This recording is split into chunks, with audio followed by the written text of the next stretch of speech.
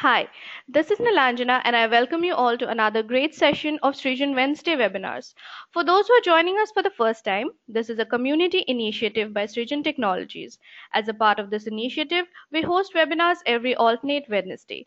We invite experts from different domains who talk on subjects like front-end technologies, UI UX, mobile apps, media, entrepreneurship, community building, digital marketing, and many more.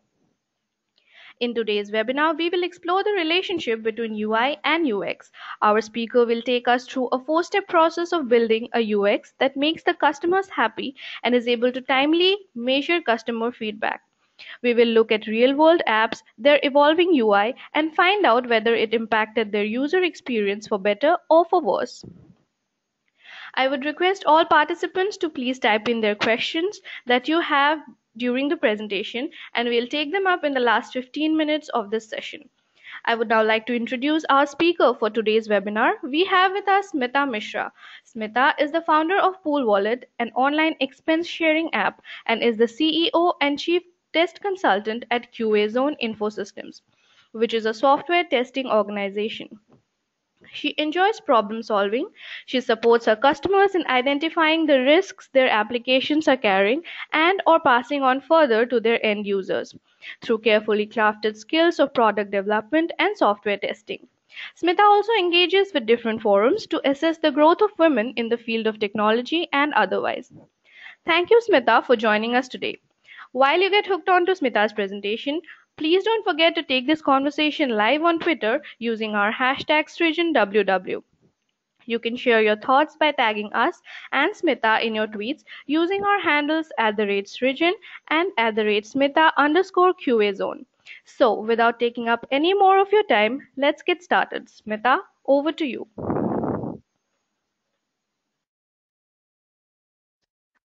All right, guys. So, this is Smita. I'm your speaker for your webinar on navigating the UX jungle. So we succeed. Um, let me let me just quickly, um, because my introduction has already been done, and thanks Nilanjana for giving the wonderful introduction. I would quickly start uh, with the presentation. So why are we here? And uh, okay. So just to understand, uh, maybe to be a Tarzan, because we're talking about navigating the jungle. So if, if you can remember any of your shows that you might have seen of a Tarzan, you would be able to at least uh, compare how Tarzan looks at jungle and how somebody, an outsider or a tourist person or a hunter would look at a jungle.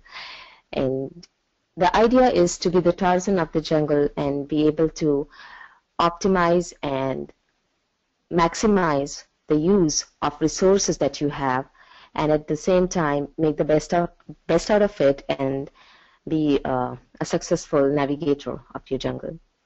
So let's let's understand what we're talking about. What is UI?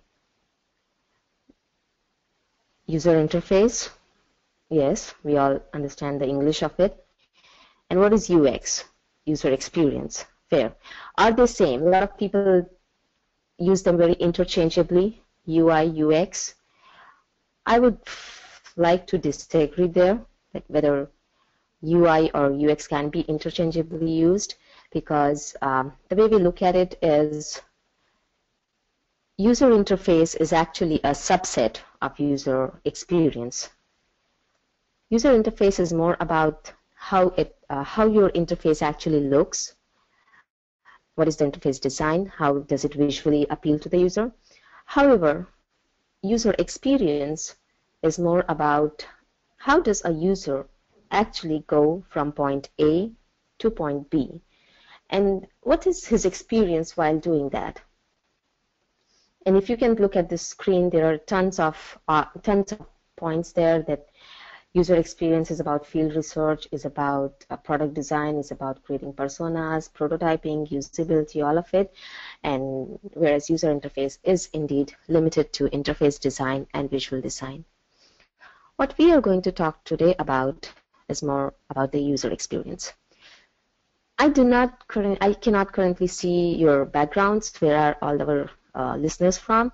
But I do assume that since you are here to listen to this particular presentation, you are probably involved in developing a product and are concerned about your user experience or in a, in a positive way and you want to make sure that your user is happy and you are th therefore you are looking at various options. However, when you actually start thinking about user experience, quite a lot of people actually start talking about things like it should, uh, I mean, they start about uh, talking about the traditional stuff and uh, some guidelines and mention that uh, uh, maybe these sidebars, maybe that color schemes, and, and they try to limit it to those options. Whereas, I mean, uh, and users and companies are actually spending a lot of time in deciding the colors, bars on the screen. But frankly, is it really that important? Are we overthinking? Are we trying to put a lot of stress on the UI just to make sure that UX is good, the user experience is good, whereas it may not be necessary? And to be honest, when we are reading through so many books and trying so many tricks with the popular uh, uh, websites and apps, frankly, one of the thoughts that we came across, one of the observations that we came across is there are very, very, very few known techniques that can accurately and consistently shape a good UI UX. You cannot just write it down that do these 10 particular op, uh, activities and you are going to just be, th that option rate of user is going to be really high and you're going to be the best. Because it doesn't work like this. You never, there are, there are certain activities that you can perform to design your user experience, but you cannot really uh, to design for user experience, but you cannot really guarantee that this is exactly how your experience will be.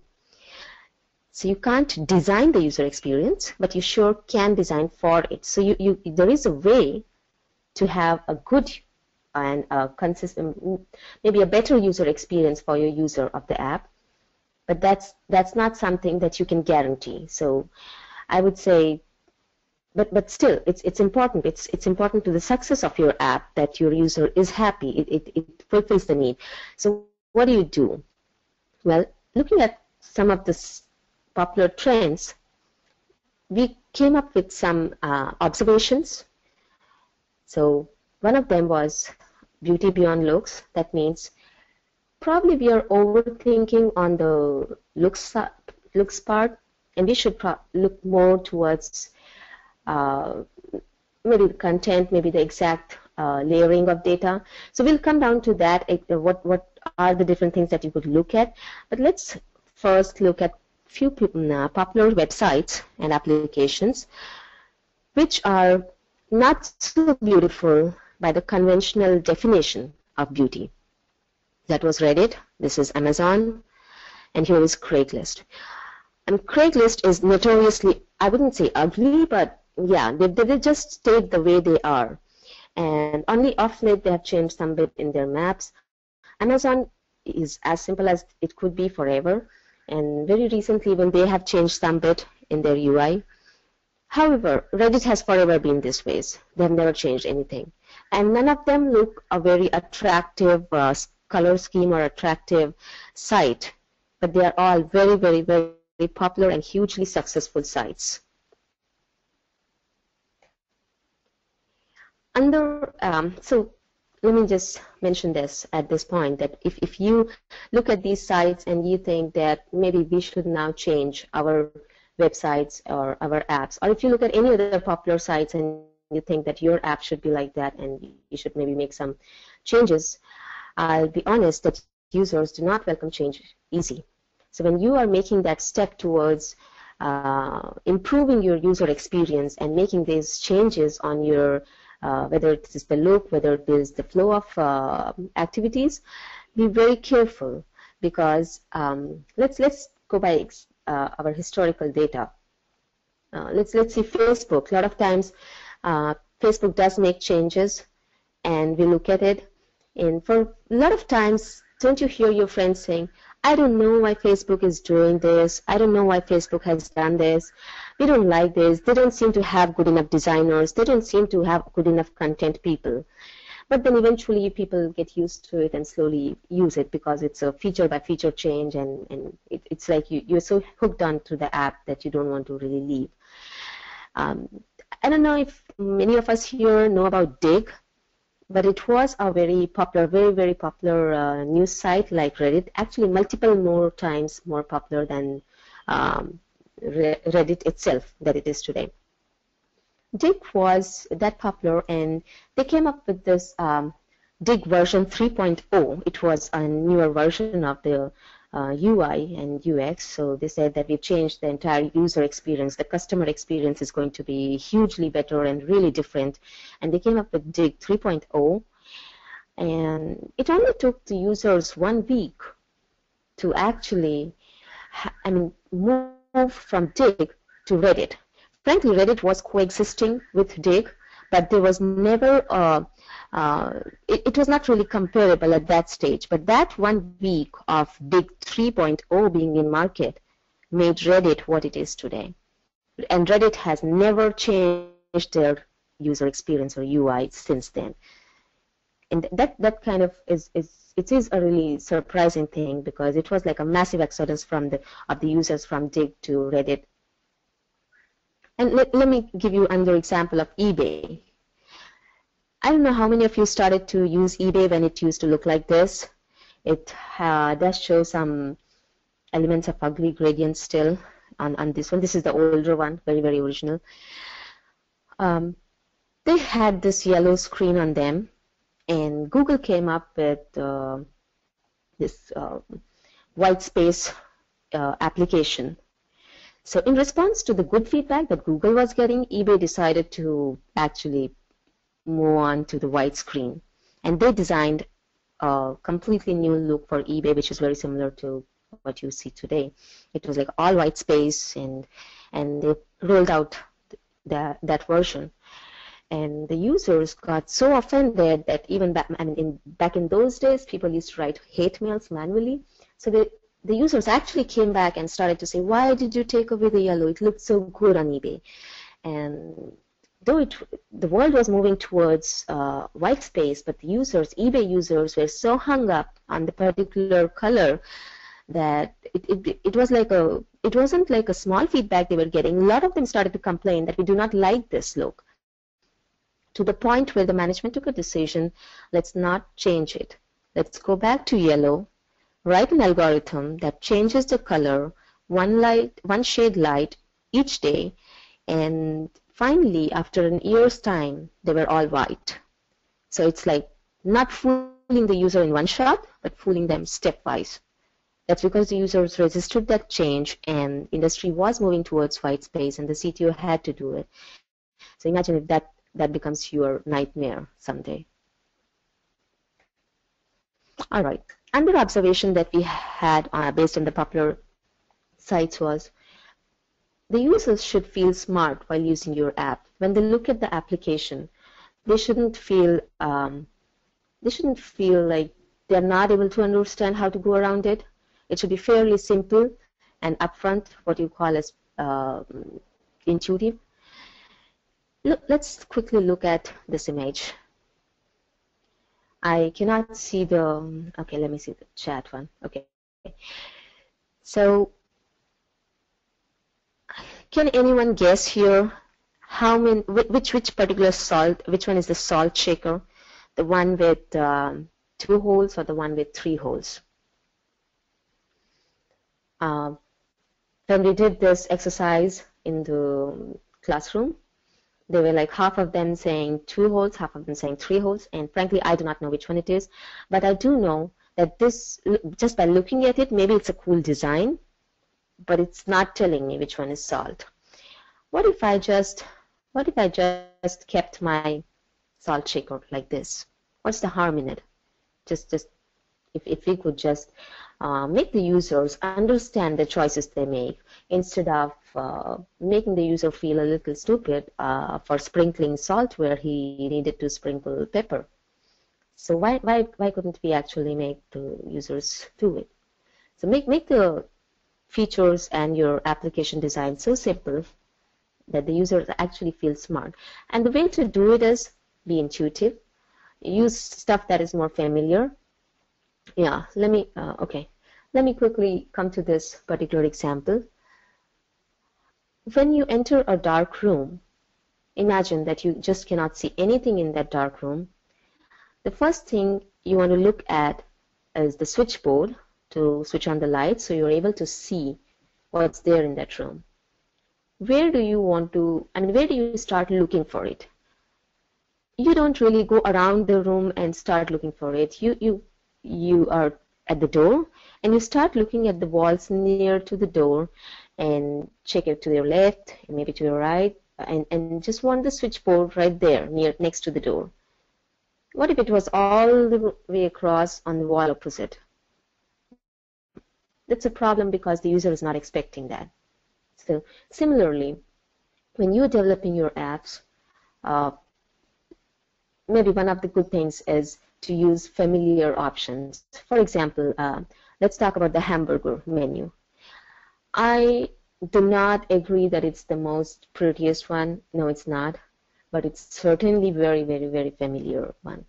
So when you add, when when a when a designer is using a hamburger menu, which you can see on your Facebook, which you can see on your LinkedIn, you immediately the user immediately knows that that's going to activate my sidebar.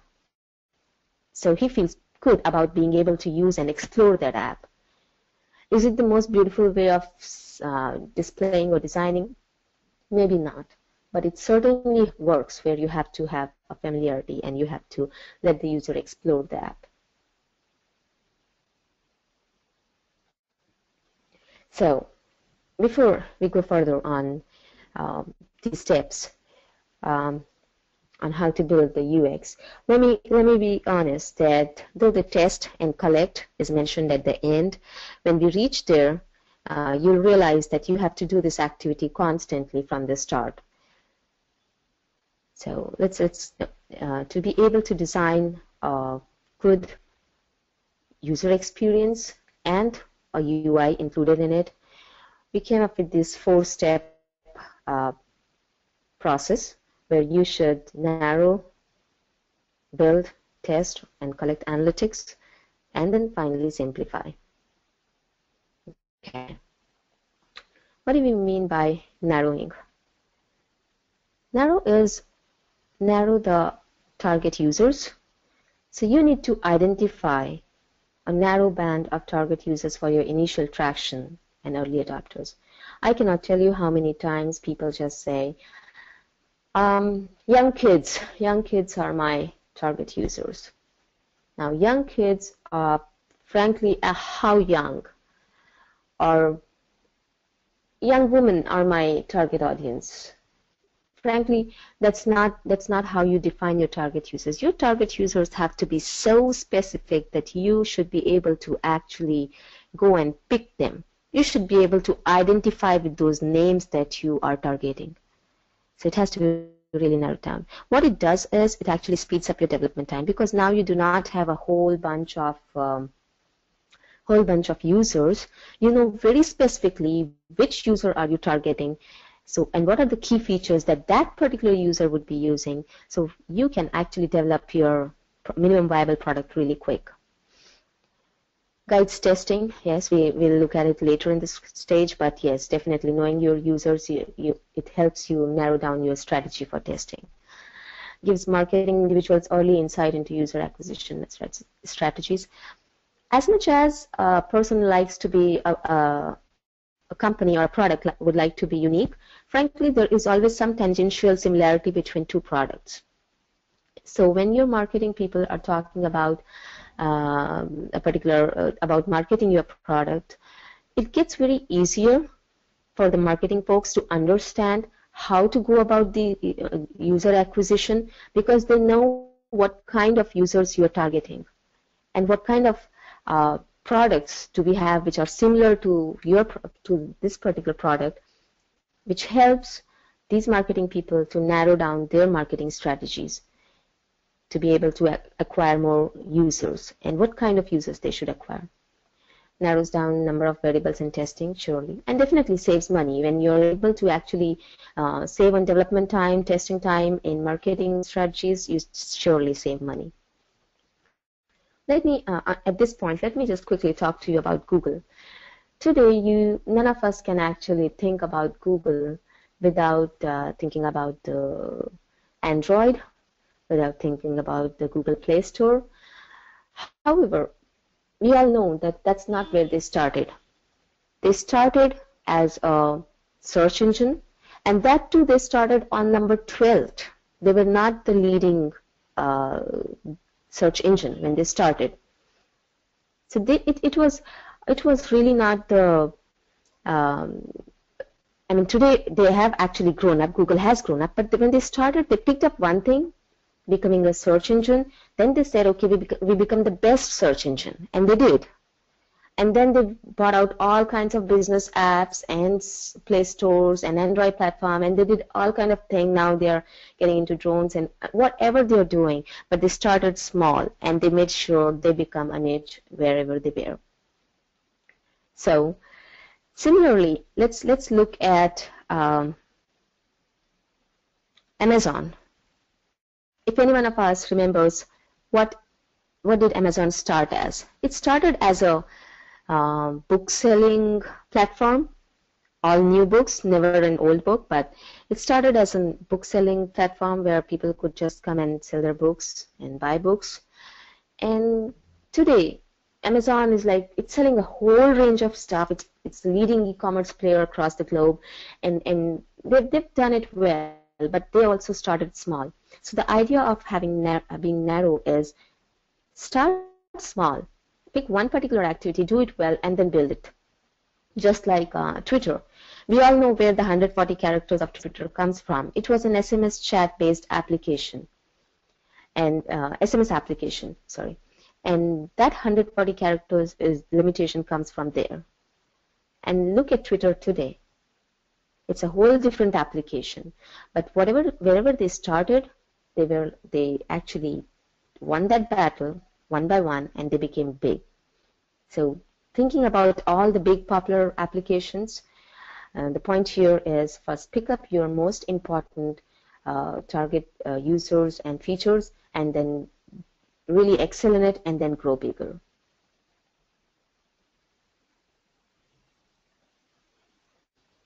Okay.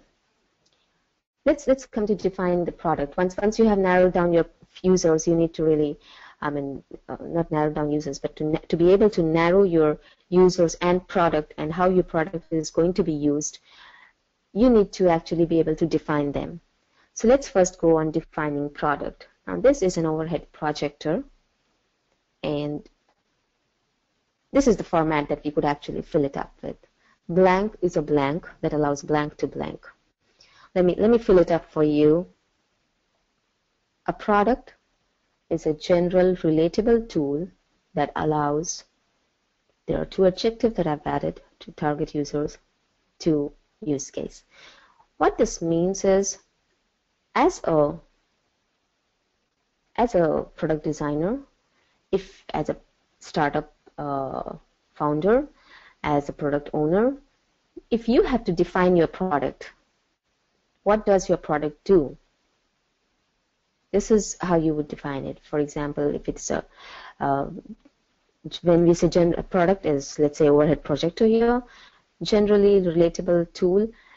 Relatable in the sense we spoke about none of the products are I mean unless it's really really unique spacecraft kind of thing which which nobody else had ever made which lands somewhere on some other planet then most of the products are in some way relatable tangentially to some other product. A lot of people actually use it as a phrase.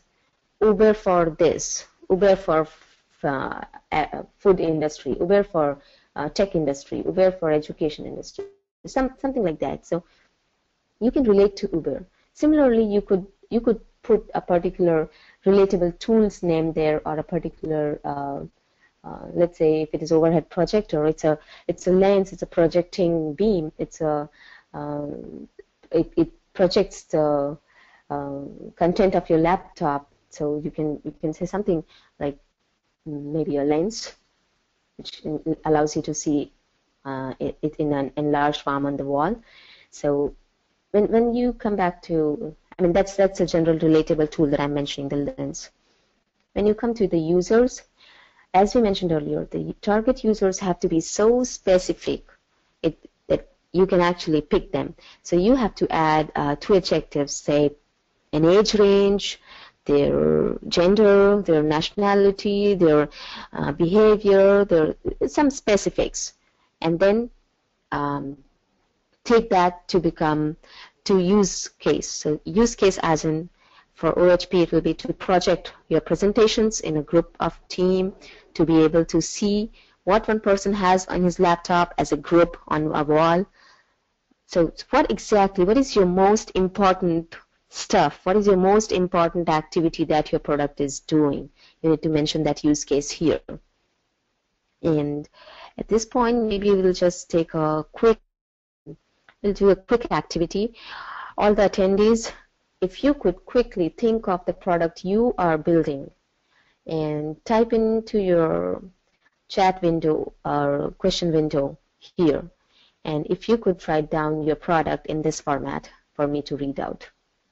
I give you I give you a minute to do that. Please think about the product you are working on, whether you're testing, whether you're developing, designing. Think about your product and actually uh, fill into this blank is a blank that allows blank to blank. Think about a relatable tool. Think about the users that you have and put it here. And to the uh, and which is your best fit use case. I'll give you a minute.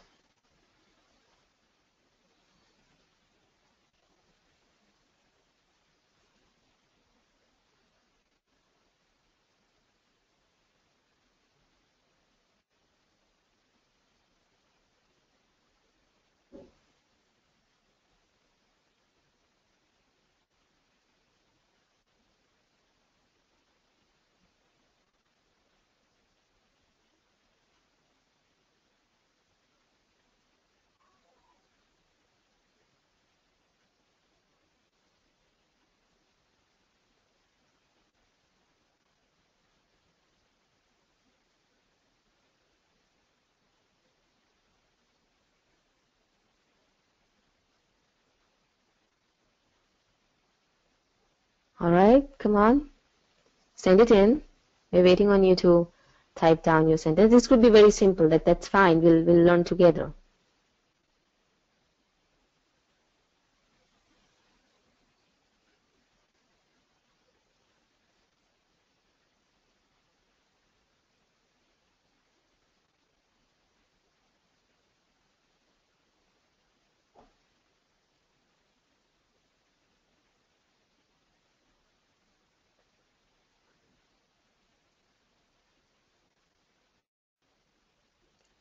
Um, Nilanjana, I'm unable to see any of them coming up. Do you see any? Um, no, uh, uh, we could see three of those. Can you see them? Mm, no, actually, I'm so sorry, I cannot. Okay. Can you just read it out to me? Okay, yeah. so uh, our first answer is by Steve Beatty. Uh, she says, uh, he says, OnTrack is a web application that allows teachers to help their students achieve academic success. Our uh, another one is by Ankur N. Online survey mm-hmm. platform. Feeds mm-hmm. Insight Survey is an online survey platform that allows companies e-commerce to engage its customer and gather employee feedbacks.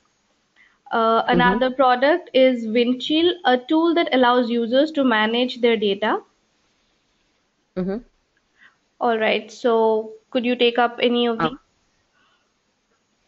Yeah, uh, I would actually like to go with uh, Steve's. If you could repeat it for me. Okay. OnTrack is a. So, OnTrack is a web application that allows teachers to help their students achieve academic success. Application that allows teachers help their students achieve academic success. All right.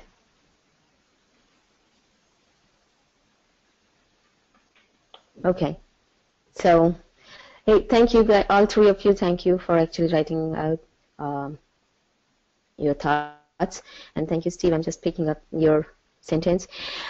And um, good job, all three of you. Actually, you did well, uh, much better than what I had uh, expected a newcomer to do.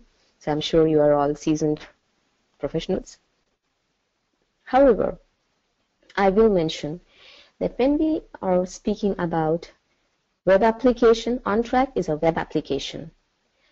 Uh, frankly, is it a, is it a testing web application? Is it a teaching application? Is it an online video? Is it a classroom training uh, where we run this application?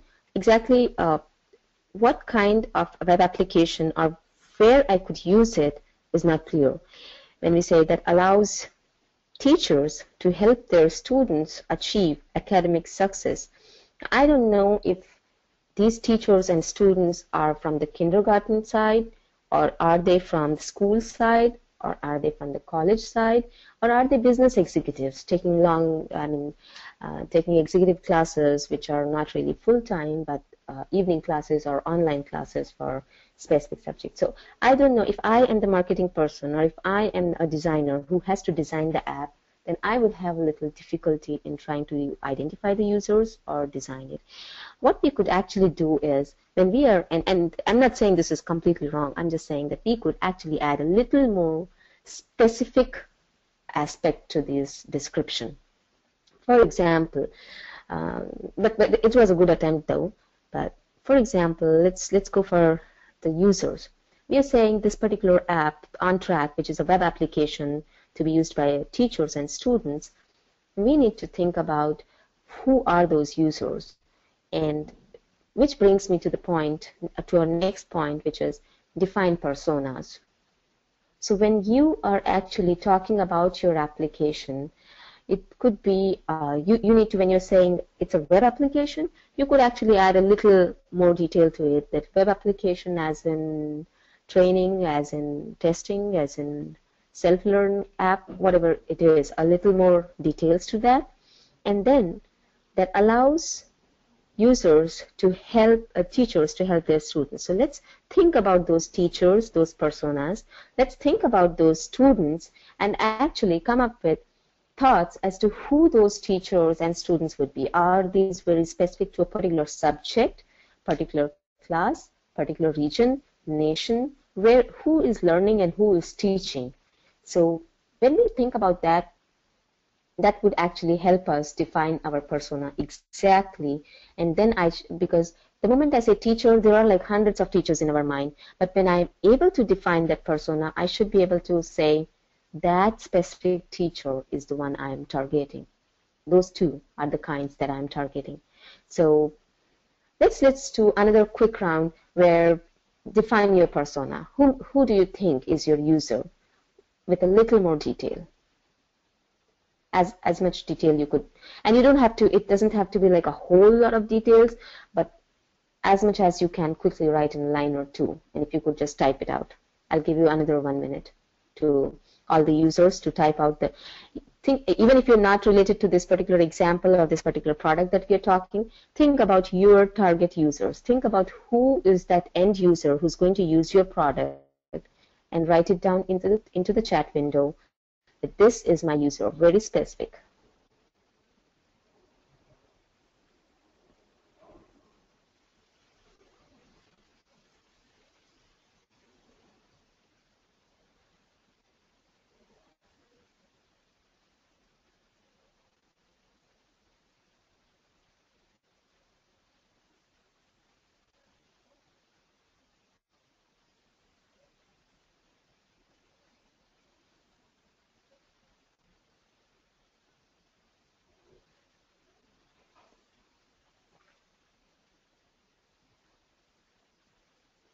All right. Come on. Be quick and type in whatever you're thinking. It could be one word, one sentence. Anything is really fine. And we'll, we'll actually, after just, or after the sentences okay, part, um, after this. Hi, Smita. Yeah, we Uh, started to so, get. uh, I Yeah. would just quickly give you the organizer controls so that way you will be able to see uh, whatever is being typed in. Is that okay? All right. Yeah, that's perfect.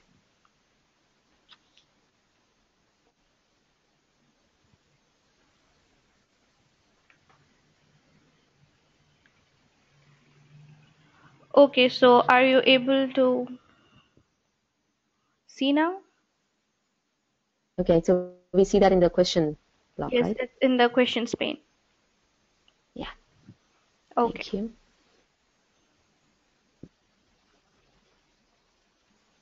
Yeah, so so far this is what we have received.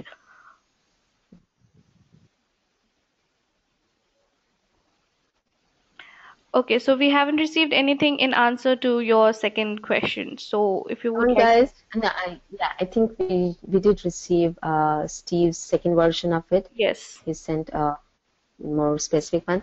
Guys, other than Steve too, any any particular application that you're using? I see a lot of them here who have mentioned different. Uh, yeah, I see Sandeep Kirk here. Come on, guys, start putting in your details. Any kind of uh, any kind of user that you can think of that your product, or if you're planning to start up, what kind of product you would develop, or what which kind of user, you could just type it in here. Excuse me. All right.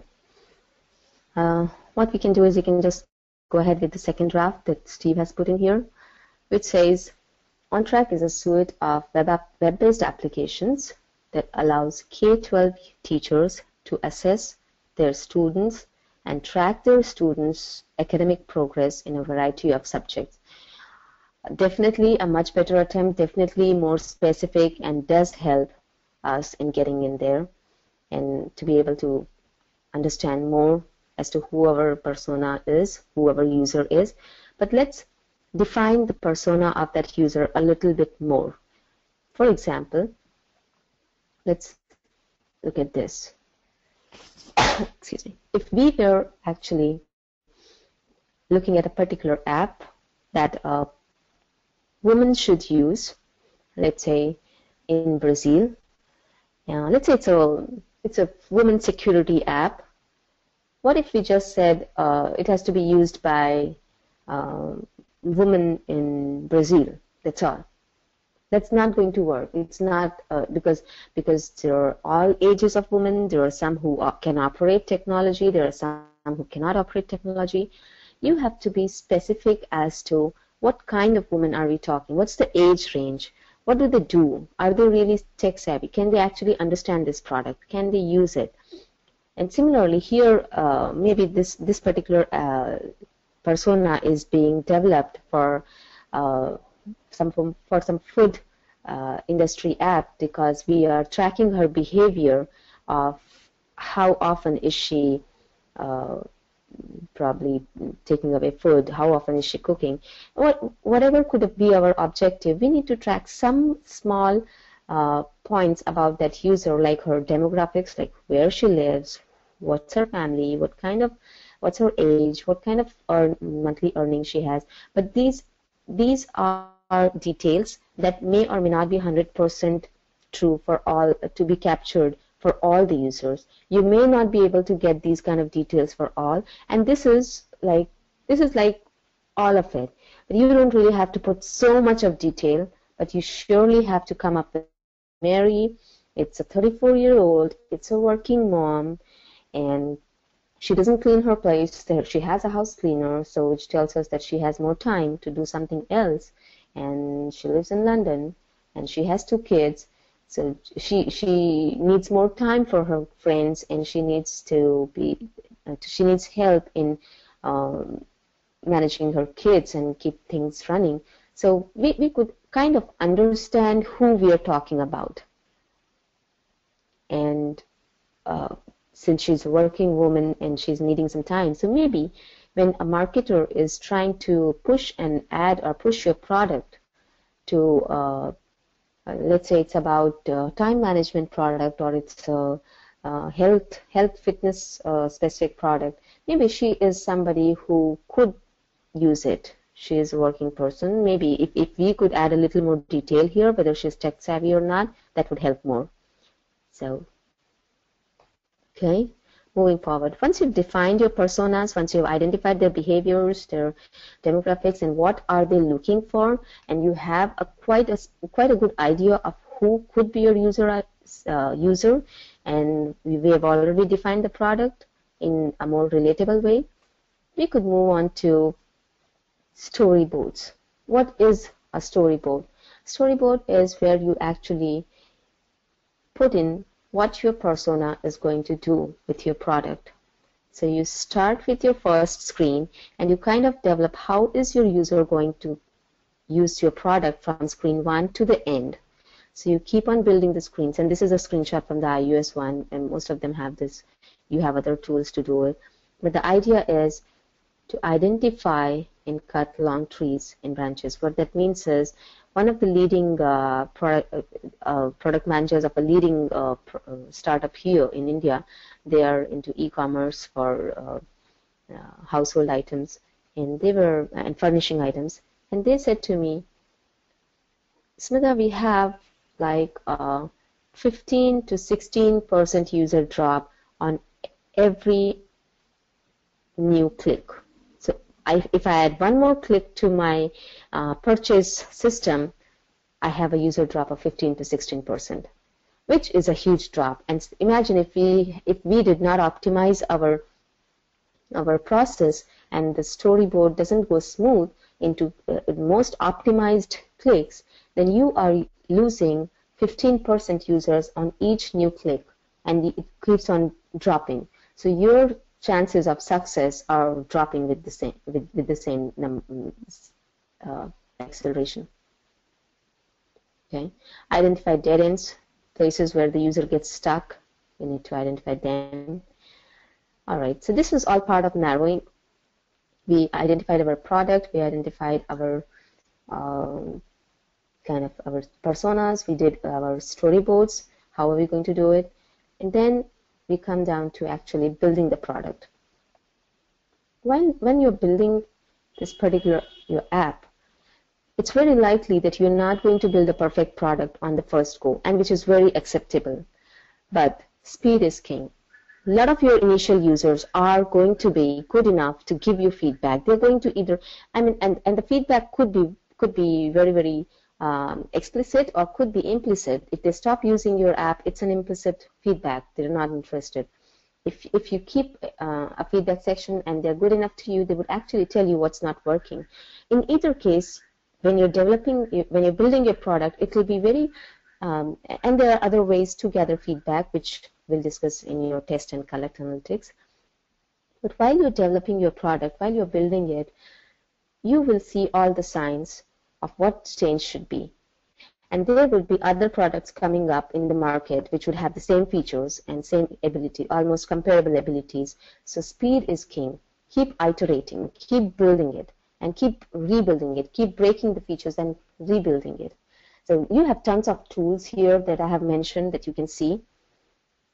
These, these tools, use these tools to actually build, distribute. So for example, HTML5, it's, it's a good platform to build your apps, and most of us know it. Kinetopia, 99 Designs, go on any of the platforms, build it.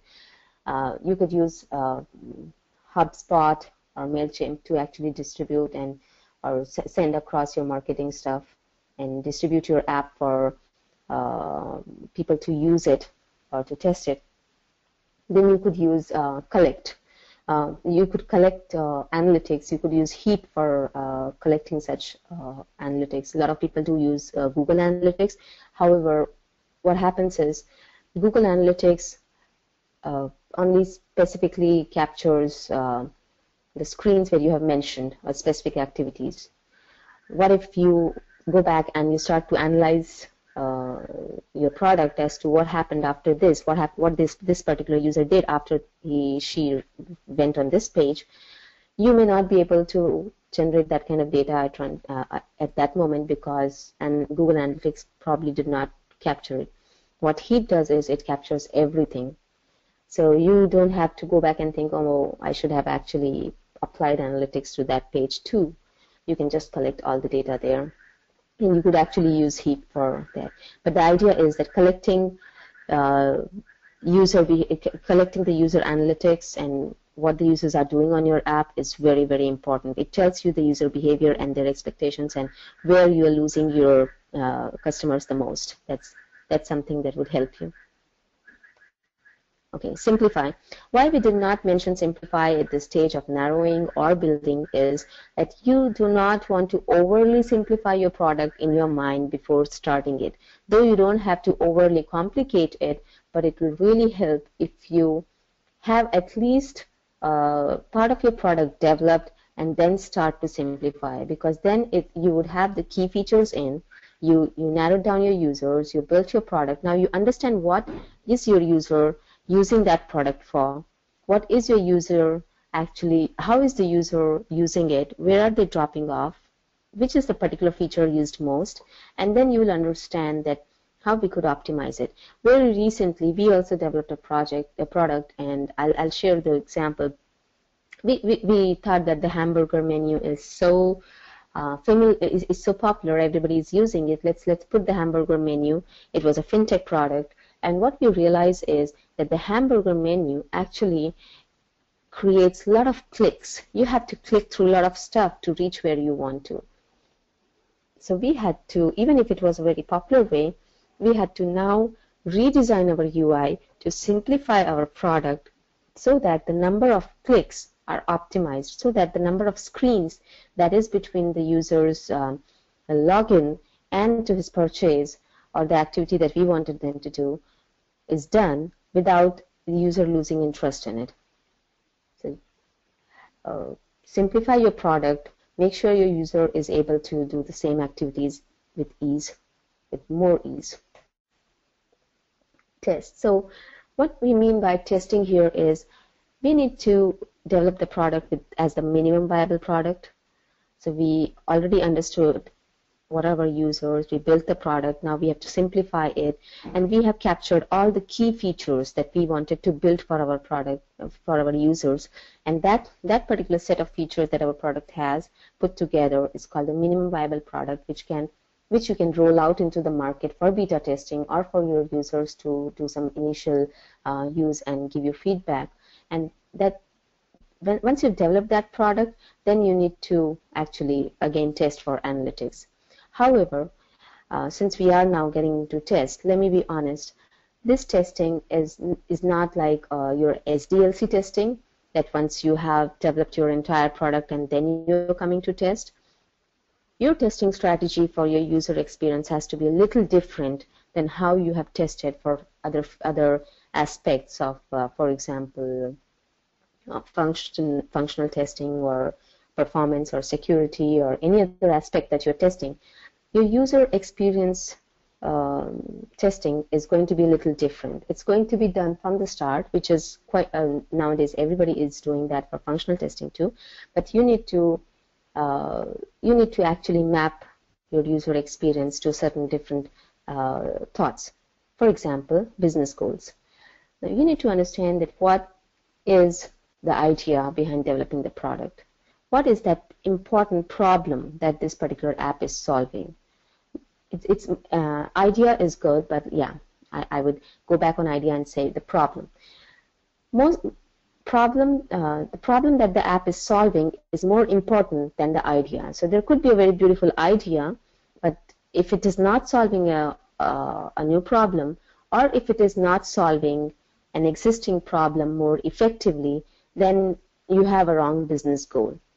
That means your app is anyways not heading towards success because um, it's it's doing something which probably somebody else is doing. So you need to first understand what is your business goal, and then come to the user experience strategy. That how are you thinking that your user is going to go from point A to point B?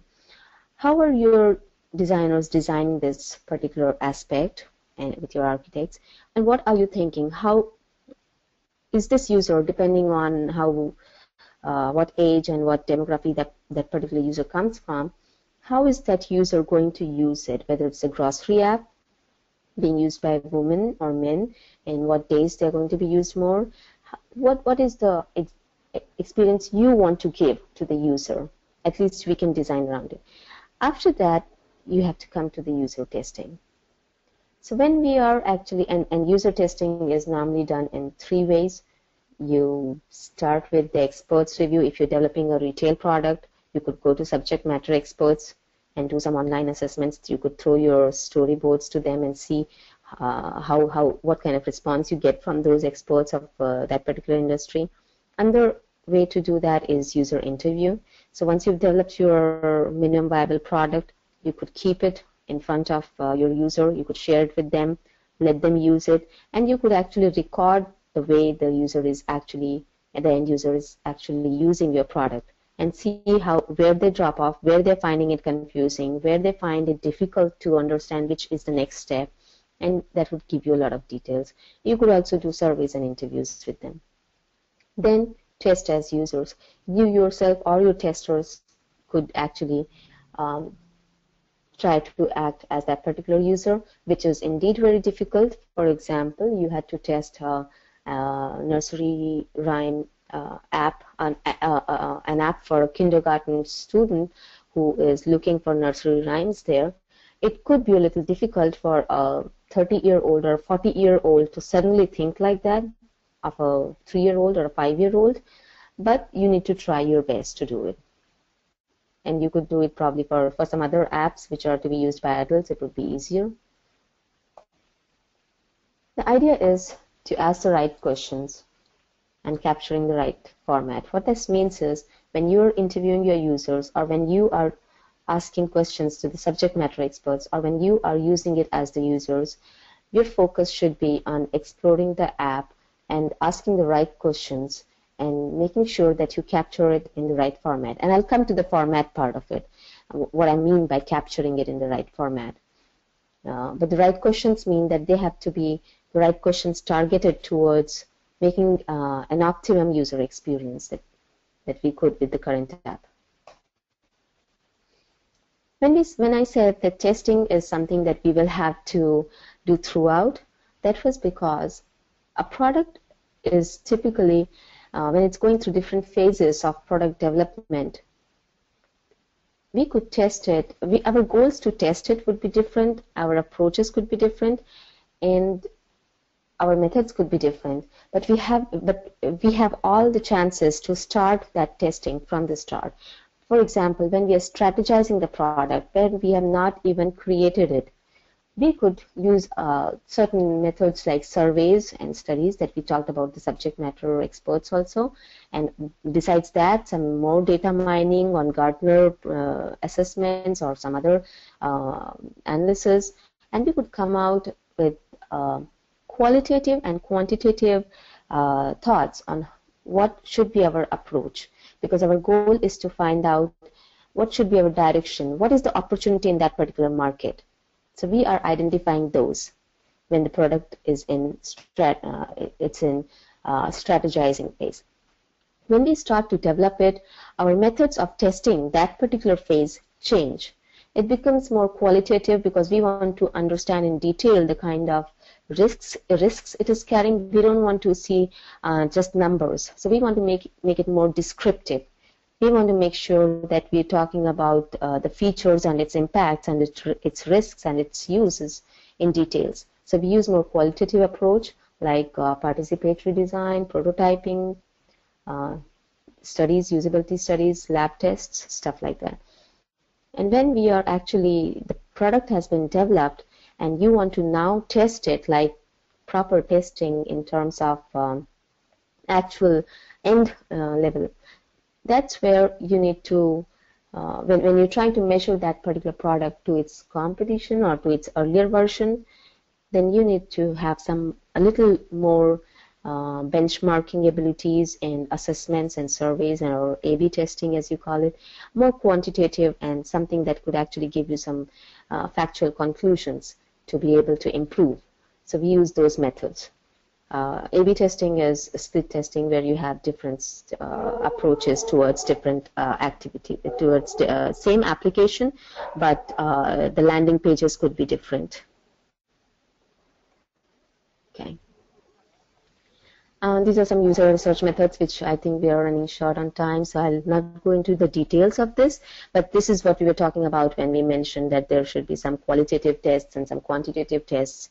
So depending upon which uh, context of product use during the data collection. So if we are strategizing, if we are uh, actually developing the product or if it's already developed, we could go for different kinds of testing. And if uh, the one thing that I want you to notice here is like eye tracking on top and uh, ethnographic field studies on left and um, clickstream analysis to your right, top right. So there are different kind of tests that are happening, but can you imagine how, how uh, somebody would be doing eye tracking? They would have devices actually uh, connected to the users and tracking where the user is actually, where is the user's attention maximum being held. So that's, and that's what brings me to the test plan here. Which, this is not the most ideal test plan. You don't have to use this. This is sample one. But when I mentioned ask the right questions and capture it in the right format, this is what I meant. If you look at this, you have specific time mentioned at the bottom what are your time limits for doing each activity and you map them to what activities you have to do who are the participants for that kind of survey or test or uh, and collection of data whatever you're doing what is the equipment you're using? Are you going to have a laptop with eye tracking software? Are you going to do it an online skype call with the user? Are you going to ask him to uh, put a software that records his activities and then you can actually take the recording later on depending upon what you're doing, you have to mention it here, what kind of equipment you have. And when you are actually going to execute that plan, you need to be sure who's going to be on your technical help desk if, if something goes wrong, who's going to uh, support the user, who's going to support the interviewer, who's going to support the tester. So an exact business case that we are developing here, that, that's being tested here. So that's why it's important to have a good format where you capture all this nothing that we're capturing is very different from other testing, but a, a good format like this would help you know what is your next step in that one hour that you have planned with the user.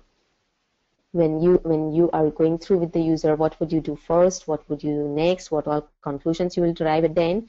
All those uh, points have to be captured in this plan. And just to um, mention here at this point, we, we could talk more about exploratory testing and stuff like that right now, but I would really like you to understand that when you are actually testing your product, which could be besides doing interviews, you're, you're actually being a user, try to do it more exploratory way. Try to explore the product instead of going by the requirements. and, and this is not the session to explain about the exploratory testing, but I would really like for you to understand how we could actually implement.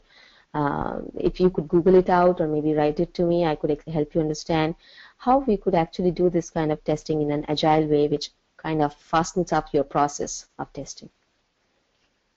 Excuse me. So here we come to our last screen of the presentation, which is elements of user experience. So we've talked about all the various aspects of user experience and we've talked about uh, what, what uh, is uh, user experience and how we can narrow our target users, how we can define our products and targeted users, how we could build our app and then collect uh, analytics to be sure how the user is actually using the app and to come back and improve it, and then testing. So our major um, our key point here was that while you are doing this, you need to understand that the UI, the user interface, is on top. On this figure, if you look at visual design, that's our excuse me, that's our top layer which you are able to see in the app. However, when you are looking at uh, the user experience, it constitutes of all the sub-layer that you see here you need to start with the business goals or the user needs where we define what is the user need, what are our business goals to meet those user needs, how are we going to solve that problem. And from the technical side, when you're looking at uh, as the software interface, you may want to see what is uh, the kind of functional specifications.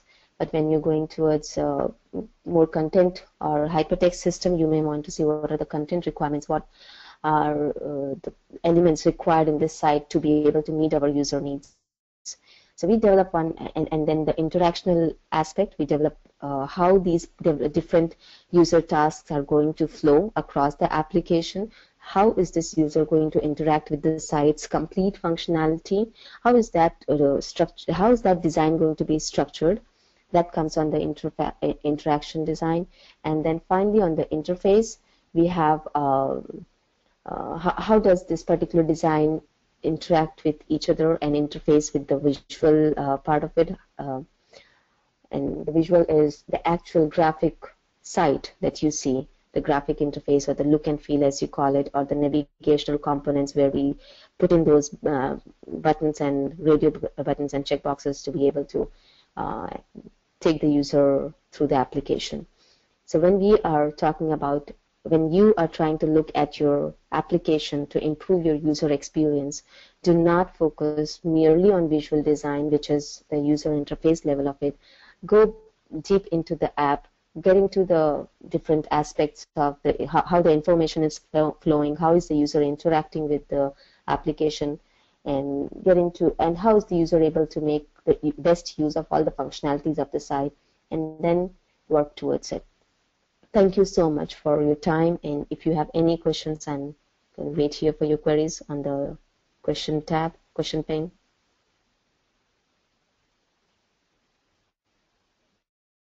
Thank you, Smita, for that great session and guiding us on how to build an amazing user experience. So uh, I'm sure most of our listeners would have a few questions. So uh, I would request them to type in their questions in the chat box and we will take them up one by one. Uh, so uh, while our listeners are typing in their questions, uh, Smita, uh, all right. So we would like to take our first question, uh, which is what are some of the common UX mistakes that you have seen and that one should avoid when designing the UX? Common mistakes. Okay.